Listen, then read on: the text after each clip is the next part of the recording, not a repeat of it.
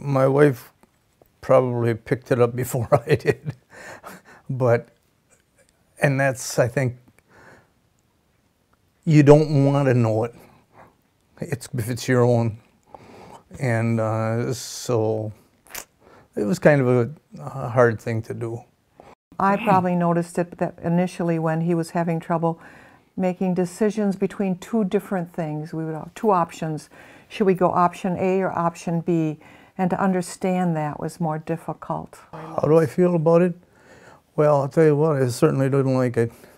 Um, and there's things that you just don't have control of. Dementia is um, what I sometimes uh, describe as an umbrella term. Uh, so it covers a lot of different specific diagnoses. And we just use the word dementia to mean a progressive loss of cognitive function. Most people have heard of Alzheimer's disease, and I get this question all the time of what's the difference between dementia and Alzheimer's disease? And the answer to that is that Alzheimer's disease is a form of dementia, a particular type of dementia, but there are many other types of dementia. Initially, it might be difficulties with short-term memory, and then more serious problems with judgment and decision making, until at the very end, the individual is sometimes incontinent and is unable to perform basic functions of self-care, uh, recognition of faces and voices, things like that, certainly memory for names. one of the most telling descriptive phrases in this stage theory that I was describing is at the very end uh, stage seven, they talked about that the brain is no longer able to tell the body what to do. He was losing language, and he was very aware of it. And he said, I don't want to embarrass myself when I can't find the words to express my ideas. And so he, he kind of pulled back from his part time job, and he didn't run for reelection on the village board, which he had been on for 12 years he just kind of decided that he was more comfortable kind of stepping back a ways. A lot more has landed on my shoulders. So I'm the person who has to um, do all the negotiating with activities and medical appointments, um, where we're going, what we're doing. Carl did all the driving. I rarely drove. Um, I never even put gasoline in a car. You know, a long time that I that I did drive, and I just time to get out of my place, you know. She's done all the driving since, and, and I appreciate that. So I'm not going to hurt anybody. So that's it. So more of it, a little at a time, has become my responsibility. You know, let's say there's a leak in the faucet or something. I'm the person who calls the plumber. Carl would have fixed it. He was the ultimate fixer. So I find myself now having to anticipate and sort of being on alert to what's happening and what's going on and what do I need to do to make life go more smoothly. The, the community didn't um, know very much about dementia. We needed um, programs in the community that would help to reduce stigma so that people would not feel isolated. I had been doing some research that involved interviewing people in their homes who had the diagnosis, and I'd heard over and over and over again about how their friends didn't come around as much anymore, how they felt like they couldn't get out into public places comfortably. In a way, then our family and friends initially didn't recognize it, thought it was not true, because you have to be with it 24 7 to really see it. Gradually, they've come to understand it and to see it.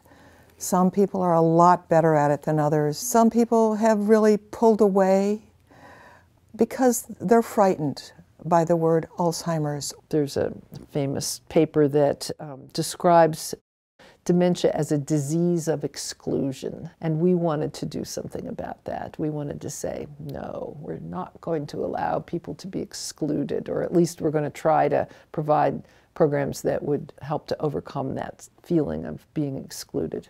I think it's really important for Carl to stay busy so that he stays stimulated, he stays active, and he likes to know that he has something to do, something that makes him feel worthy.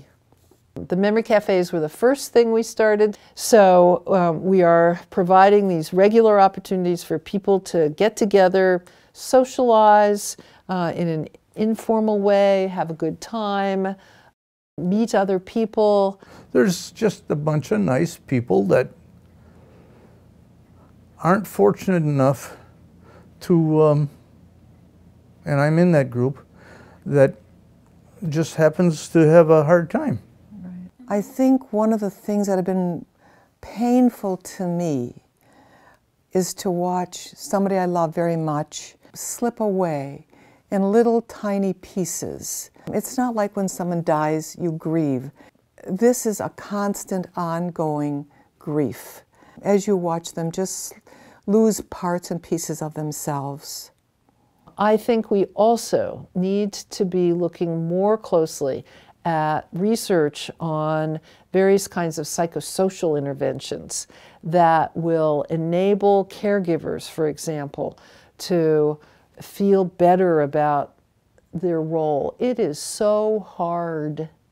It is so hard to do this 24/7. If if we want to make our community better for people with dementia, we have to make it better for the people who are caring for the people with dementia. There are places and things that people really could do if they understood the disease and how helpful that would be. Um, it buys me some time alone from Carl when um, so that because I still continue to volunteer and do the things that I do. I am very grateful um, from our church and wonderful friends who have stepped up and um, go places with Carl. Um, No, I go with them. they have a good time. He has good people that, you know, at least one or two days a week. They come in, they go places, they do things, keep him occupied. There's uh, quite a few people that that in our area uh, that I didn't know as well or anything like that. But in the last while, these guys come around and, hey, I got to go to Kaukauna. Okay, I'll go. and and that's been going on now, and and I enjoy it, and they seem to enjoy it. Since we have no cure, um, the, it's inevitable that we're going to see more cases because more people are living longer. This is a revolution in human history. Communities are going to have to figure out how uh, we can um, be more supportive of people who have memory loss in our bars and restaurants, in you know places like banks, uh, so all these community organizations are going to have to take into account that some of their customers uh, or clients are going to be experiencing memory problems. And how are they going to respond to them? And how are they going to make them feel welcome? And a lot of it just relates to getting to know the person. Uh, and um, i think that that's uh, something that we often fail to think about. You know, we just kind of see generic old person with gray hair and memory problems, and you know, we never really take the time to know who this person is. All of us have vulnerabilities. Um, all of us have weaknesses, um, and um, and people who have dementia remind us of that, and and so we want to keep them at arm's length sometimes. And Carlos has said to me, I'm not worth much anymore, am I? And I have to laugh at that and say, You are worth a great deal to me. Look all the good you have done. Look at the good you continue to do. We're still partners. We're partners in this together. The best thing that came out was she stayed with me.